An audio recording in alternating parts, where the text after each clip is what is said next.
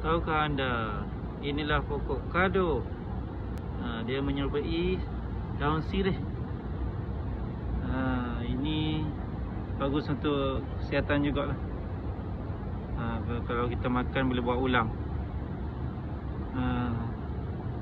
Boleh makan dengan apa-apa saja. Pucuk dia Kalau nak makan dengan Cencaluk boleh Budu boleh tempoyak pun boleh. Sedap ni kalau makan. Ha, inilah. Tengok dia punya ha, bunga dia. Dan dia akan jadi berbuah juga avocado. Ha, tidak asing lagi orang dulu-dulu semua makan ni. Patut dia orang awet muda dan sihat. Apa lagi? Kita sekarang perlu amalkan benda-benda macam ni supaya sihat tanpa bahan-bahan kimia. Ha, inilah kado untuk kesihatan anda.